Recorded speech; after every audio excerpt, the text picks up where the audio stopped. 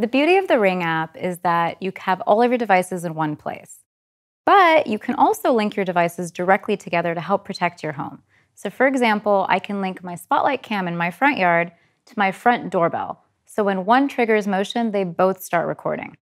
So, for example, if I want to link other devices to my driveway, I'll go into my driveway dashboard and then select Link Devices. And then in this case, I want to add my front door and my front yard.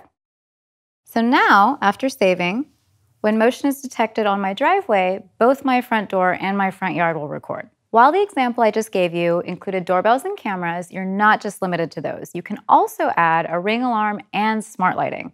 So this is just another great way that you can link your ring devices together to protect your home.